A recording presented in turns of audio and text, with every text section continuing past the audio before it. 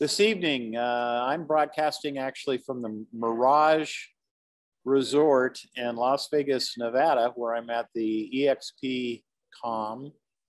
Uh, it's uh, their convention. And uh, so if you hear some noise in the background, that's everyone uh, going to their convention classes and getting, figuring out where they're, they're going to go to dinner and all that kind of stuff tonight. Actually, I think there's several uh, open houses and parties going on tonight as well. So, so that's the noise if you hear it. Tonight we also have Dan Naylor, who is our school owner and uh, man with the technical expertise for tonight. He'll be our producer tonight. Before we get started on tonight's material, do any of you have any questions about any topic? Now would be a good time to ask. Well, seeing as no one has any questions outside of the uh, topics uh, we're going to be covering tonight, let's just jump right into it, Dan. Let's look at our first question, please.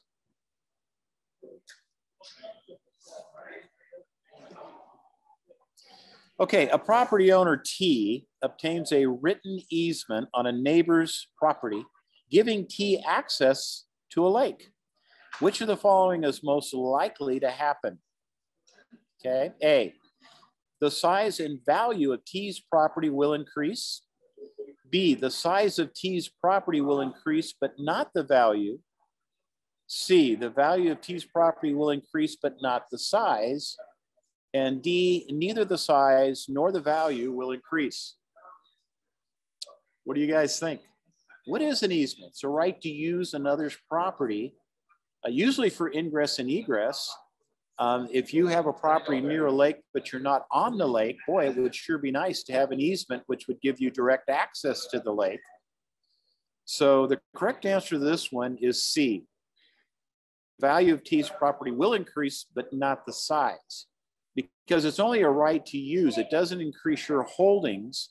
It just gives you the right and usually it's for ingress and egress, like we just illustrated here. So if you uh, committed to C, uh, pat yourself on the back. You are absolutely right. Let's go to number two, please. R sells property to T with the restriction in the sales agreement that T can only use the property for farming purposes. Well, this is an example of what? A, fee simple with condition precedent. B, deed in lieu of. C, fee simple defeasible, or that C, or D, fee remainder estate. Fee remainder estate. Well, this is really, um, he deeded a property with a restriction on it. Now, remain, D, fee remainder estate, that's, that's part of a life estate, which is, this is not.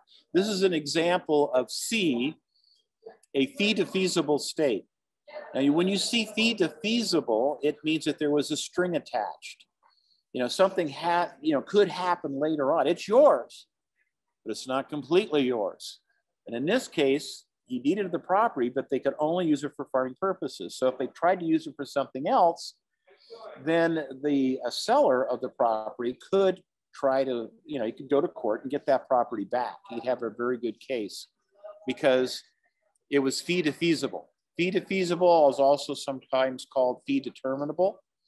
Um, but if it, but fees, anything short of fee simple absolute, fee simple absolute is the most um, uh, uh, potent, the most complete type of ownership that somebody can have. Deed in lieu of foreclosure, the answer D, uh, B up here, that's that's used in in in lieu of, of foreclosure, where you have it's kind of a, you know, I hate to use the term friendly foreclosure because that's no foreclosure is friendly, but it's a situation where rather than making the lender go through all the foreclosure process, the the uh, the note, um, you know, the, the gentleman that had the loan and has defaulted on it, instead of getting foreclosed on, he just agreed to give up the property back to the lender. And that would be done with the deed in lieu of foreclosure. Fee simple with condition precedent. uh, is another example of fee simple defeasible, but it doesn't quite define what we had in our stem of the question. So correct answer to this one is C. Let's go to question, or uh, no, that you had D, deed in lieu of. It should have been C. Okay, okay number three. What is the highest form of ownership with no restrictions? And I already gave that one away by explaining this last question. And that would, of course, be fee simple absolute. Fee simple absolute is what we work with in real estate almost exclusively. I mean, it, you know, 44 years, folks, it's been 44 years of me being in the real estate business, and I've only run into two life estates. That's it. You know, two examples of fee defeasible. Tenancy at will is the type of tenancy you have when you check into, you know, a resort or a motel like this.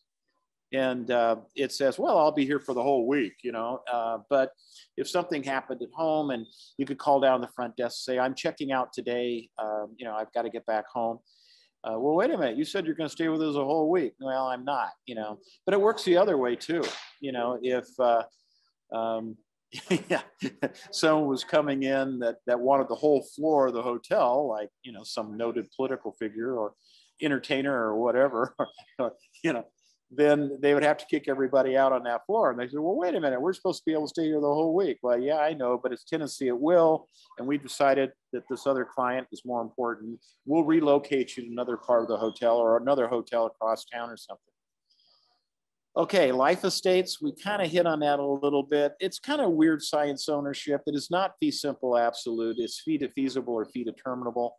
And concurrent ownership, you know, that, you know, that, that's not what we're lo looking here.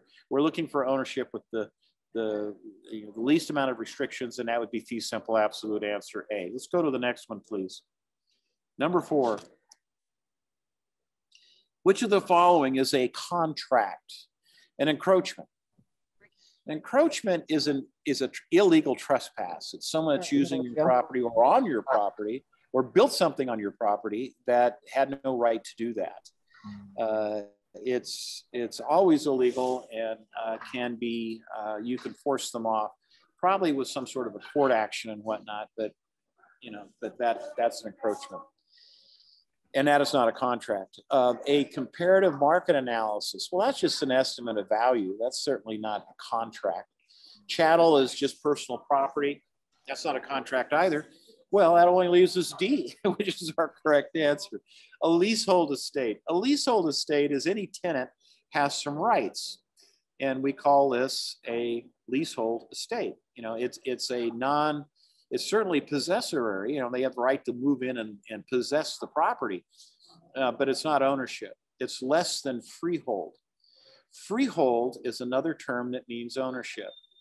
So, a great example of a less than freehold estate would be whatever rights a tenant has, and that's what we're talking about here. There, it is a, it is definitely a contract, you know, between a landlord and tenant that gave them the right to be there as long as they pay their rent and don't violate the other terms of the of the, of the rental agreement, but it's a leasehold estate. And don't don't let the word lease mess you up. Lease, you know, you tend to think, well, that's a long-term type of agreement. Yeah, it could be, but even a, a month-to-month agreement is a leasehold estate. Okay. Number five. Owner C gives a deed to his son until his son dies. His son sells his interest in the, in the property to a friend. Uh, in other words, he sold his interest in the property, which was a life estate. Okay, you, you can sell your life estate if you want to, if you can find someone who will buy it too. Okay, so what happens is um, when does the interest in the property terminate?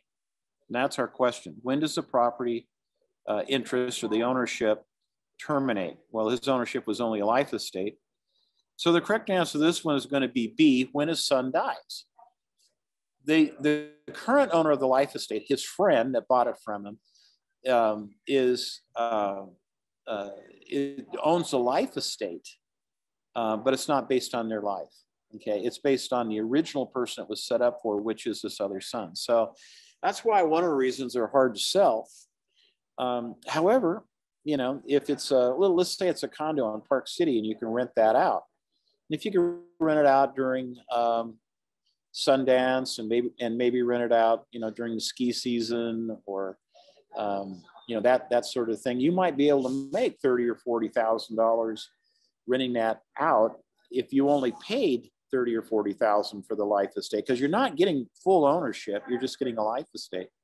That son could die at any time. Well, you know, if it's 25 years old, you know, he's probably going to have a pretty decent lifespan unless he does a lot of off-resort skiing, like in the mountains, and subject to avalanches and things like that. Could could could be. Um, but another thing you could do if you were the friend that bought the life estate is you could get a life insurance policy on the son. So if he died, you'd lose the ownership of that condo. But on the other hand, you know, you'd have the proceeds from the life insurance, so you get the money back. So, you know, that might be one way that it, it can work out.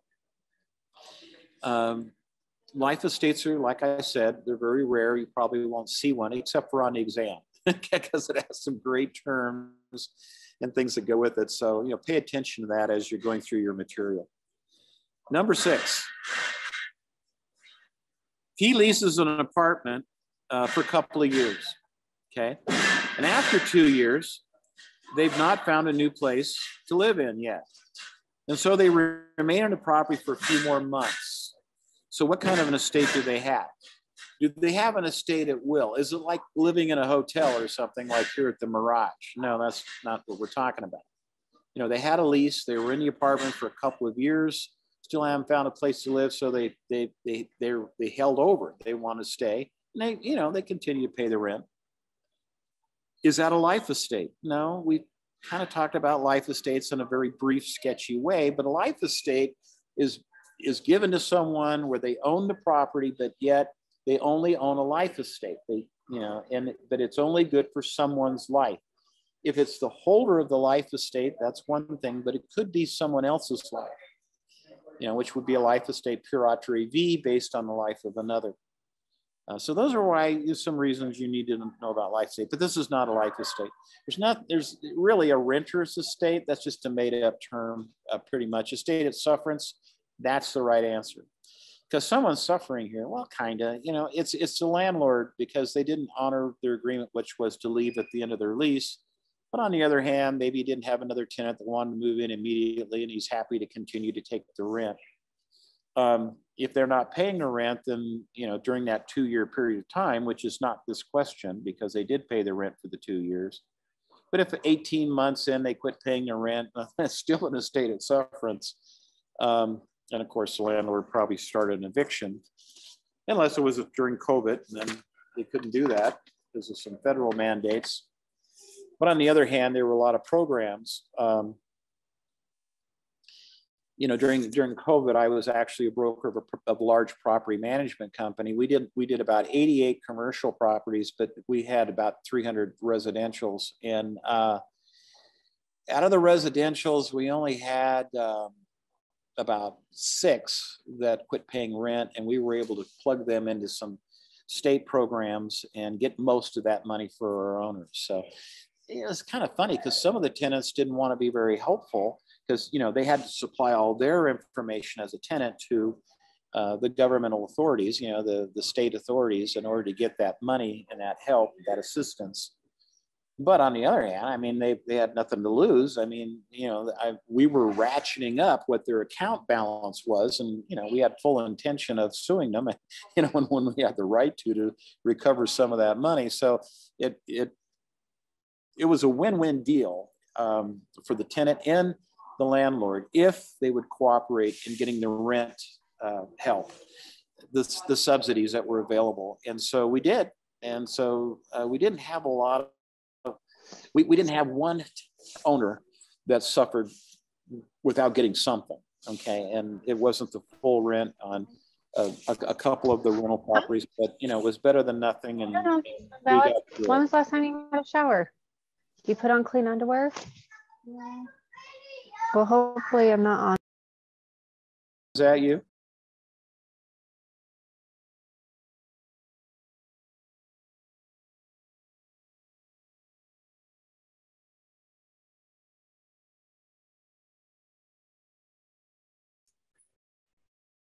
mute somehow? Dan, am I not?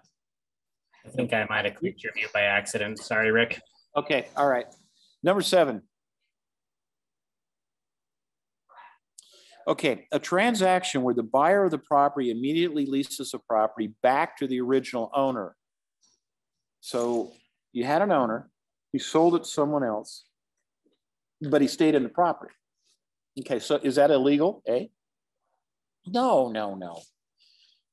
B, a, a lease sale back. C, unethical. Or D, a sale leaseback.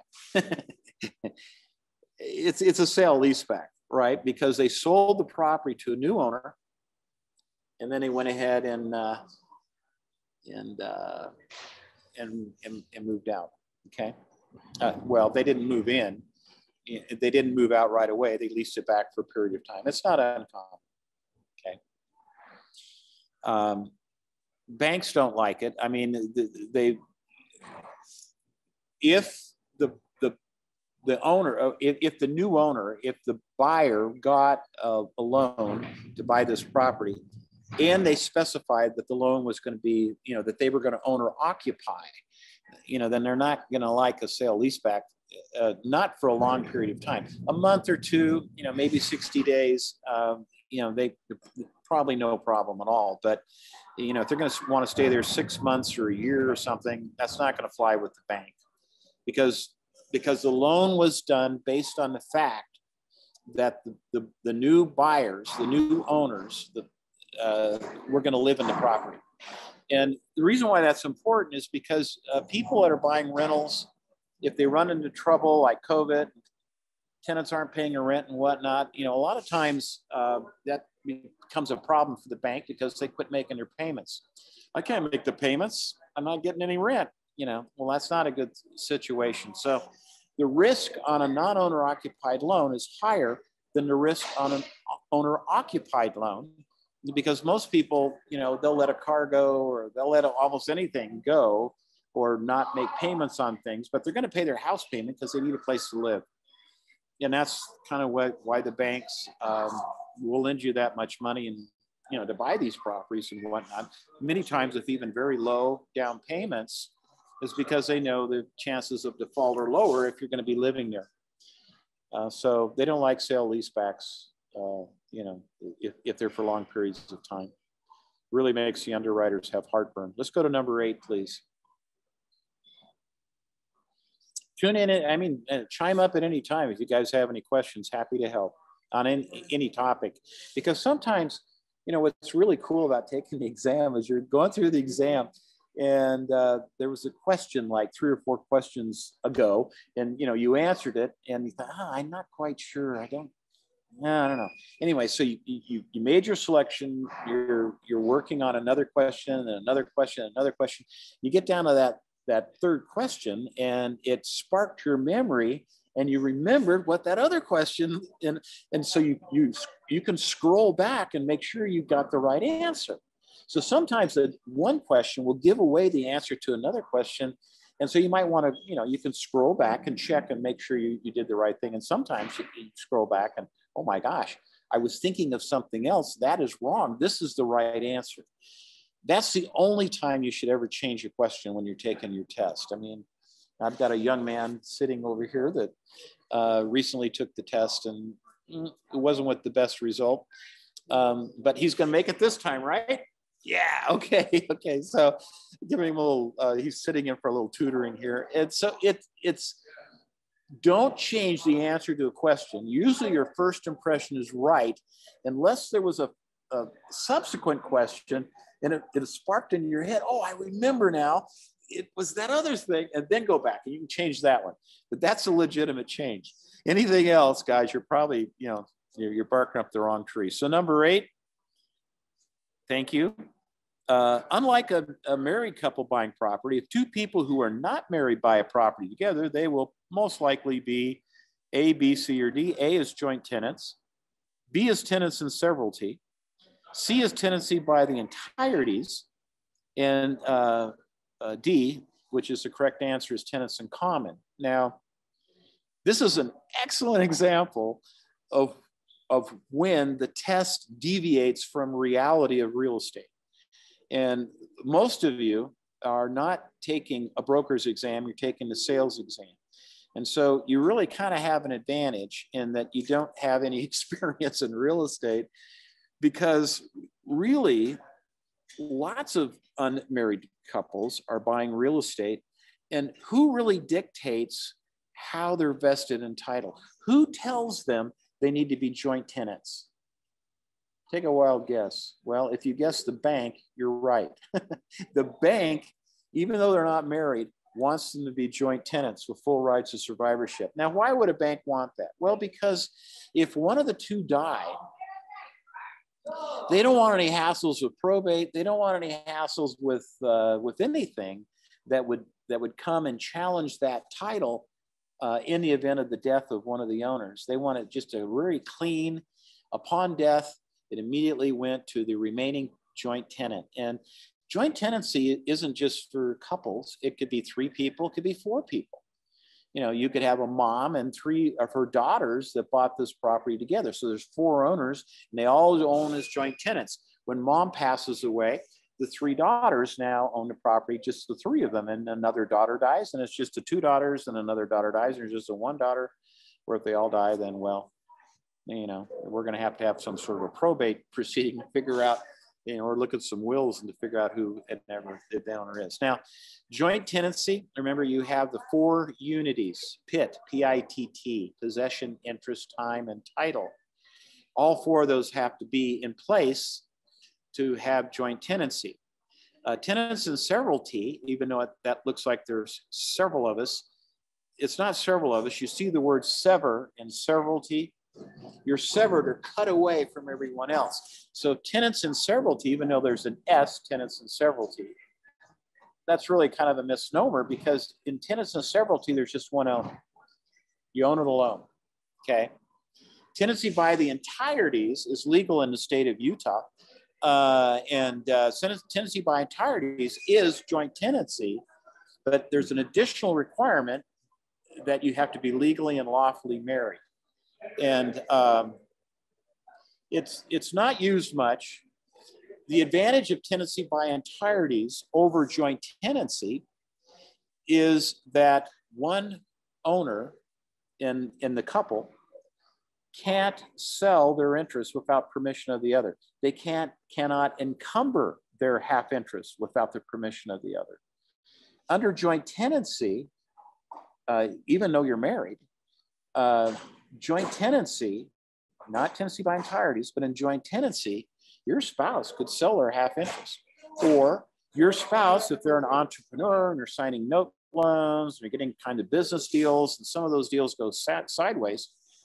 If somebody sued your spouse, you weren't involved in these business deals, but they sued your spouse, or you weren't involved in that loan, signature loan, the bank sued your spouse, they could come after your spouse's 50% ownership, even though you would be opposed to that. It, it wouldn't matter. I mean, they could still come after that person.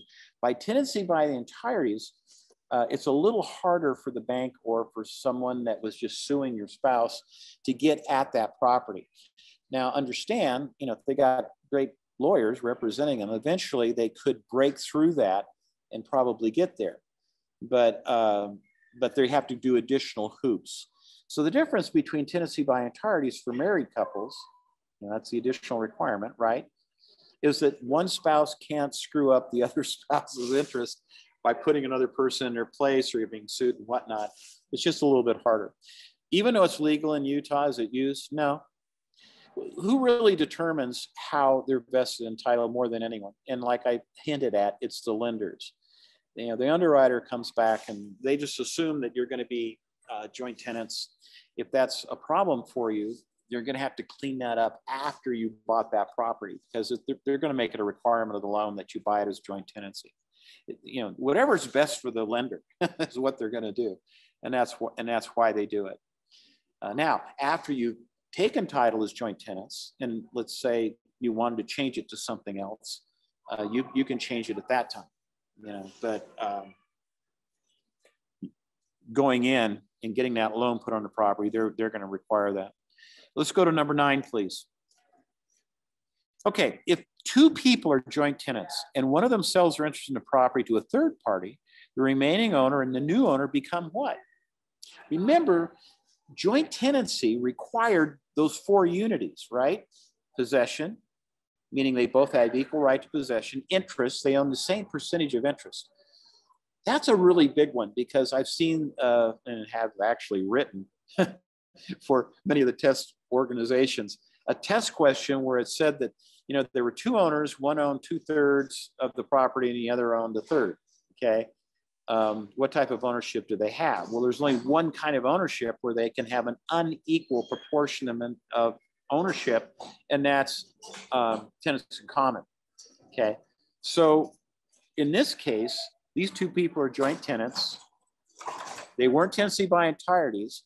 One of the owners sells their interest to someone else. So the new owners, because even though they may have same position, they may have 50-50, time and title are what trips that up in the four unities. Did they both come into title at the same time? No. And um, with the same document? No. Okay. So one of them came in later with a separate document from one of the half owners. So that breaks up the ability to be a joint tenant. So they are, in fact, tenants in common. Okay. Which means that if one of the owners dies, who gets their interests? It's not the other owner, it's their estate, the estate of, of, of the decedent, you know, the one that died. Let's go to number 10, please. Now we have four brothers and they own as joint tenants. Is that possible? Yes. A lot of times we think as joint tenancy was just two owners. So I love this question because it, you know, it clearly shows you that there could be more than one owner. And it's not uncommon to have three owners or so. Um, four is a little many, so it's kind of, well, you know, it's different. But if two people are, wait a second, we're on 10. Four brothers own a property as joint tenants. It has appreciated quite a bit in value since they made the investment to buy it, uh, since they made the investment to buy it. Uh, must have been in Salt Lake for a couple of years, huh? and about 22 to 26% a year increases. One brother wants to sell and get his money out, and he has a ready, willing, and able buyer to buy it. The others refuse to sign the offer. Uh, what's the possible legal so, uh, solution here? Well, if you're in a partnership and um, the partners don't agree, uh, then you have to do something, you, know, you might do something called a partition action. A partition action is an action of court where you get in front of a judge and say, Your Honor, you know, we own this property together, but we can't agree what to do with it. So you have to decide, you know, what we're going to do. And most often the uh, the judge will say, Well, you know, if you guys can't agree, I want you to sell the whole property and split up the money. Or they, you know, they probably won't force them to to to do the other guy, but you know, they they might, you know. So anyway, um, that's a partition action. An estate v, uh, that was like the life estate, where the life the, the duration of that life estate was based on someone else's life. Okay, a writ of execution, that's a court order. See, when you get a judgment against someone, you won your case. Ah, this is real exciting. And you leave the courthouse, you go down the elevator, you get in your car. Well, we won that one. I knew we'd win. That's great. But you don't have the money. You have a judgment against this individual. And, uh, and they don't pay and they don't pay and they don't pay. Well, you could go back into court and ask the judge to issue a writ of execution. And uh, a writ of execution is an enforcement of that judgment. And it might be against a, a piece of property. So you now have a lien on that property. Uh, better yet, if you can find out where they bank and they have enough money in the bank to pay that judgment, you get a writ of execution from the judge, show up at the bank, and the banker will take the money out of that other person's account, that person's account, even though they're going to scream and yell, they're going to take that money and pay you because there's a court order. They have to follow the court order. Okay. That's a writ of execution. Um, or exercise a defeasance clause. A defeasance clause is a clause in an agreement that allows you to defeat it for one reason or another. Uh, but that wasn't our example here. I didn't mention anything about a defeasance clause. Let's go to number 11, please in a community property state, which there's about seven of them, uh, Utah, of course, is not one. I mean, come on, you know, with Brigham Young have ever set it up that way with 20 some wives. I mean, yeah, it's just too complicated, you know.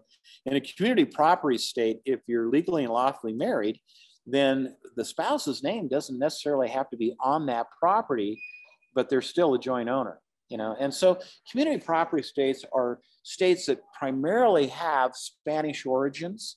So they're going to be mainly in the Western United States. I mean, could also have French, you know, like, you know, Louisiana. Um, Wisconsin voted it in. They thought it was a cool idea. But there's not that many states. There's only about seven of them that are community property states, but it's going to be on the test a lot. California is probably the biggest community property state. And our other neighbors, uh, like Idaho and uh, Arizona, Nevada, they're all community property states. Well, they all had Spanish origins. Okay. So that's kind of how that works, guys. But Utah is not. Let's go to uh, number 12, please. What does a condominium owner have exclusive interest in or ownership in? What do you own if you really own a condo? Do you own the party walls? You know, those common walls with, with your neighbor next door? No, you don't own those. Uh, the shared stairwells. no, that's usually owned by the association, okay? Or the shared entrance is the same thing. What you own is your airspace for your unit. You own from this sheetrock to that sheetrock over there, okay? You own the, uh, and of course you have a common ownership in the dirt underneath the condominium, and of course all the, all the public areas like we looked at just a moment ago. All righty then, let's look at number 13. Kind of, kind of getting down to it here. If someone has the ability to use a property once a year uh, for one week at a time, they most likely have what? Well, you know, I'm here in Vegas. There's a lot of them here. And that would be a, a timeshare. Okay. Because it doesn't matter if it's deeded or if it's points or you know how it's set up the concept of a timeshare is you buy your vacation and so you you pay a fee uh, which you know can range from you know thousands to tens of thousands of dollars depending on where it is uh, and how valuable that property is but you you buy the right to use that property. Uh, it could be every other year. Most of them are for you know every year use, and uh, you know there's different ways to trade that and do other things with it. But that's what it is. It's not a periodic lease because you're not leasing property; you own it. It's not a lease for years, you know, because you know that's that's not what it is. You have ownership, and it's not a quit claim title either. Okay. Okay. Questions about anything else? Okay. Well, it's been nice to be with you tonight. I, I, I would like to uh, share uh, a story. Uh, many of you know that when I started in real estate in the, in the late 70s, it's been 44 years for me that I was rookie of the year. And uh, that was cool. First year, I sold 58 properties. Um, last night we had a, a, a breakout meeting. We had uh, a gentleman that uh, came in and spoke. Uh, he's, of course, an EXP member, and he was talking about some of his keys to success and whatnot. A very successful individual. Uh, but before we started the meeting, we asked how many people, you know, because the topic of his uh, talk was how to how to sell 50 properties in 2022. Okay, and he went through what you know he feels you have to do to sell 50 properties in 2022 really interesting but before we did that we asked how many people had actually sold 50 properties uh, in any one year period of time. And there were only like three hands that went up out of a group of about 110 people. Um, i want you guys to sell 50 properties or plus your first year.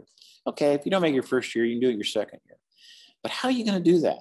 It's going to take commitment. It's going to take commitment.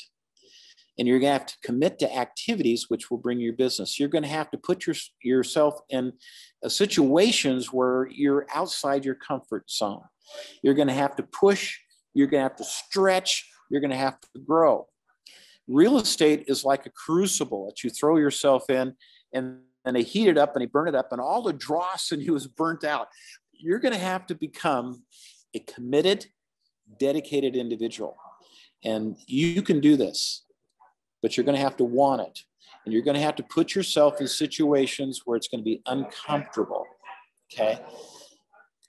You want to get hit by a truck, not particularly, but if you did want to get hit by a semi, you're going to have to get out on the freeway. Okay. So let me give you a couple of rules. Okay. For you to go out and really make success of this. Okay.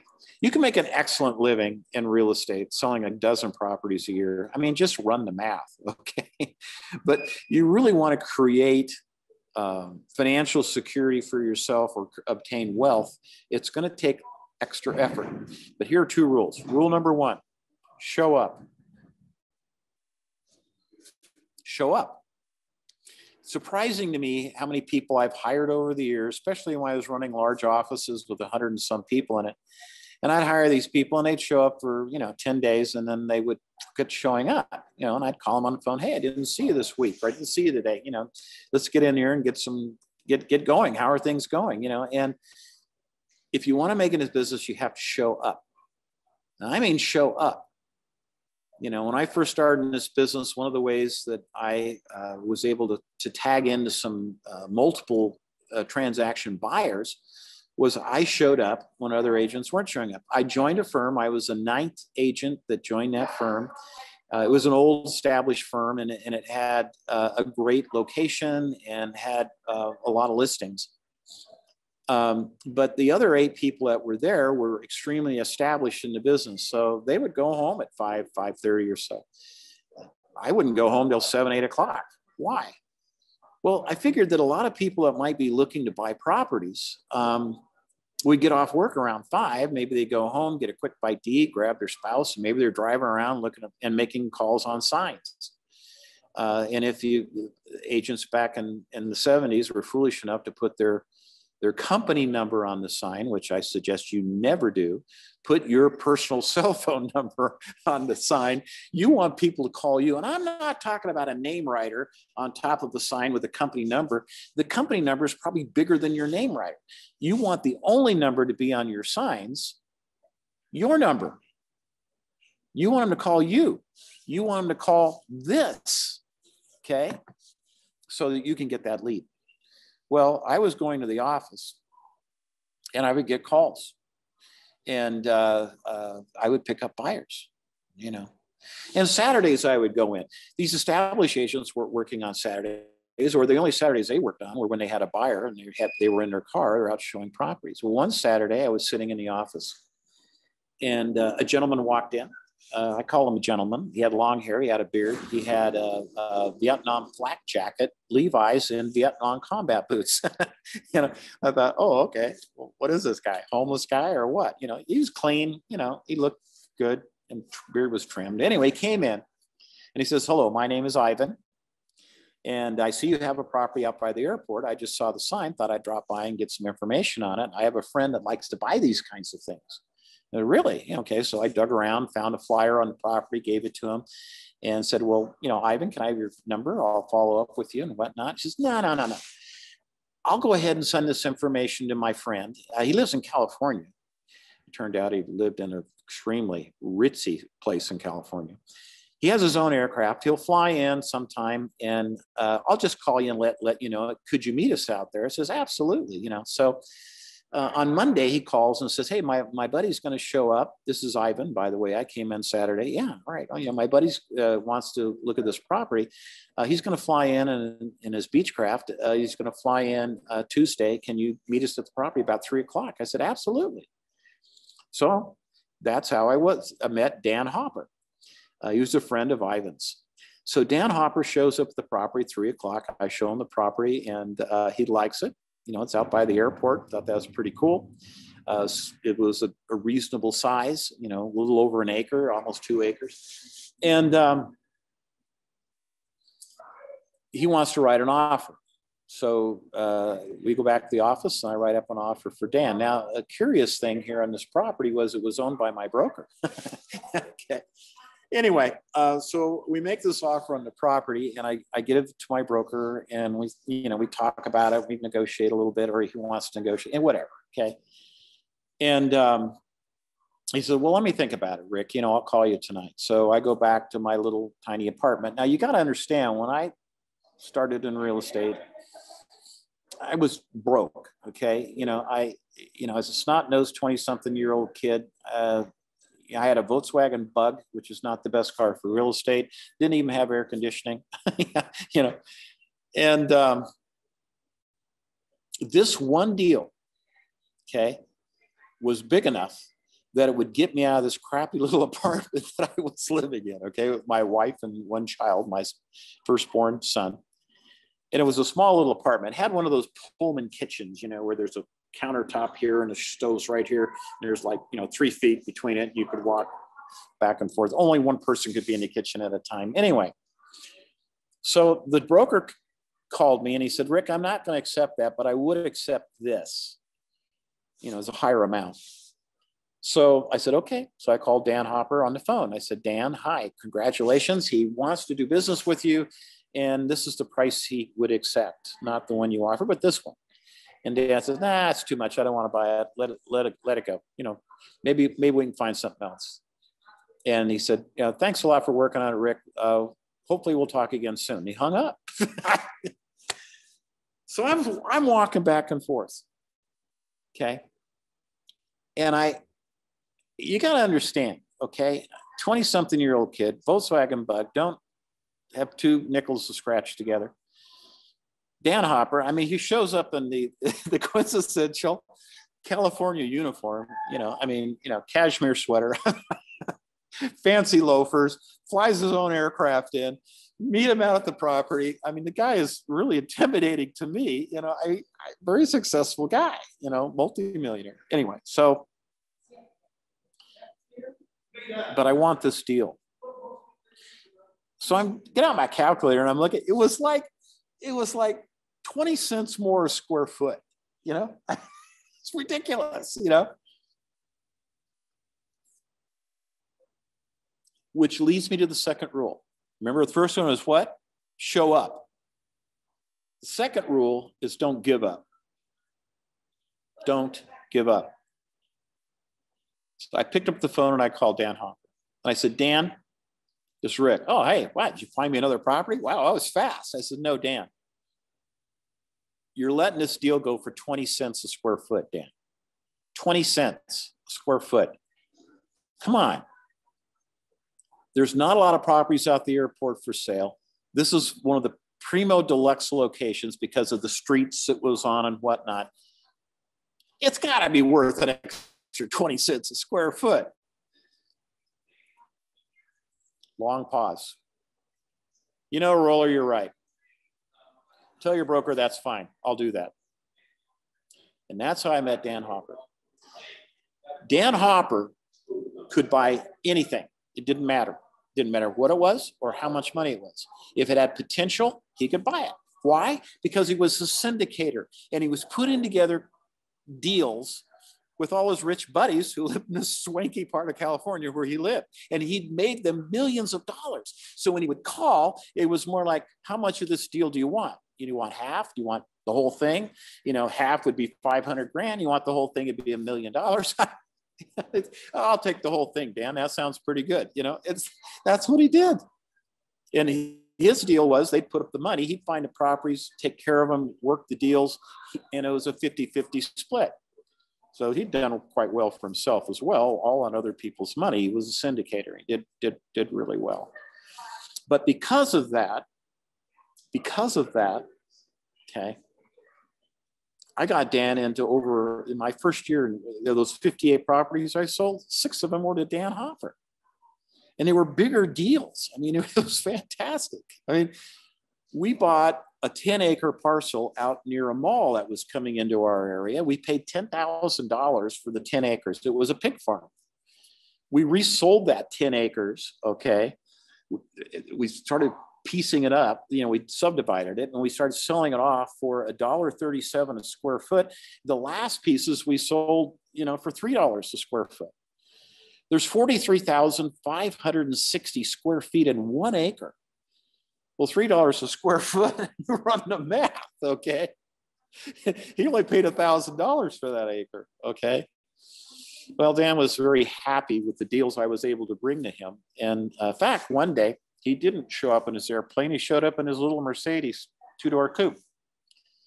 And I said, Dan, I didn't know you're coming to town. Wow, how, how, nice. You called me. Let's go to lunch. Yeah, okay, great, fine. We went to lunch together. At the end of the lunch, he handed me the keys to his Mercedes and said, You know, Rick, you did such a good deal for me in these last few deals. I want you to have my car. You just got to take me back to the airport, okay? nice bonus. Okay, anyway, folks, two rules show up, don't give up. Don't give up. Be tenacious. If now, don't be obnoxious. If they have no need for anything, if there is no need for your real estate services, you're not going to, I don't care how good you are. I mean, some of you may have sales backgrounds. I mean, maybe you used to sell Kirby vacuum cleaners or Rainbow vacuum cleaner. Oh, I can close and I can close hard. Yeah, but you're talking about a three, $4,000 machine. You know, you're not talking about a $400,000 or plus property. Okay. It's going to be diff, if, if they don't want it, if they don't need it, they're probably not a good prospect for you at all. Okay. But if there is a need, and they keep telling you no, don't give up. Come back with a different approach, come back with something else. Okay. Make them offers that other agents won't do. And lots of examples of this. If you will show up in this industry, and if you don't give up in this industry, you're going to do fine. You're going to do more than fine. And some of you are actually going to create a legacy for your family from this. Well, thanks so much for being with Dan and I tonight. Does any anyone have any closing questions? Like Stacy, Michelle, anyone have any other questions you'd like to say or ask? Go ahead. Chime in. Just unmute. Okay, well, then I'm going to go back to the festivities here in Vegas. Appreciate the opportunity to be with you tonight. Remember, you can always call me at any time, 801 556 8000. That is my secret cell phone number. So appreciate you being here tonight, guys. Take care, and we'll see you next time in two weeks. Thank you, Dan. Great, great to have you here. Great to be here. Thanks, Rick. Really appreciate you. Thanks, everyone, for being here. We'll see you in two more weeks.